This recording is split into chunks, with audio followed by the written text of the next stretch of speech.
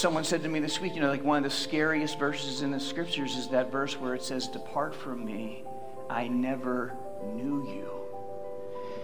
Yeah, but but didn't I didn't I work on the altar guild and didn't I get the water for the priest and didn't I dress the flowers up and put all the lilies on Easter in front and make sure and I had bad allergies and I withstood the whole thing so that the place was nice and I vacuumed the carpet and I called the steamer and said, make sure it none of it matters if you don't know Jesus Christ personally and allow the love that came from that cross to be infused into your spirit.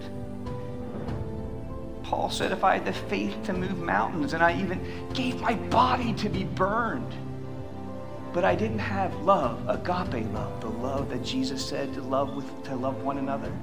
I am, he didn't, he said, I am nothing except a clanging gong and sounding brass. If you deny him, he will deny you.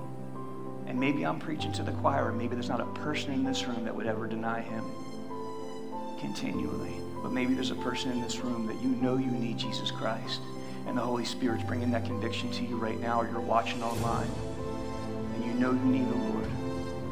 We are here for you.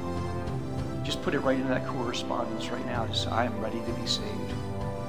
We will contact you. We will pray with you Like you just knowing that you're ready to be saved means you probably are saved, even in the hearing of this, believing in Him, trusting in Him. What? The gospel that He died on the cross for your sins and in your place. And He rose again, and He is coming again.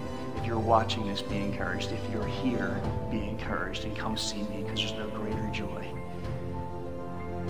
for a pastor that's genuine to the gospel than to hear someone has been infused with the love of Jesus Christ and has experienced the transformation that comes from knowing Jesus.